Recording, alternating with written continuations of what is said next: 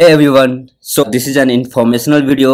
तो मुझे बहुत सारे ऐसे मेल्स आ रहे हैं, बहुत सारे मैसेजेस आ रहे हैं कि, सर, आपने अपने बहुत सारे वीडियोस को प्राइवेट क्यों कर दिया है? ऐसा नहीं है कि it will be private always मैं इस वीडियो के जगह पे न्यू वीडियो को क्रिएट करूँगा and that updated video will be uploaded in all the playlist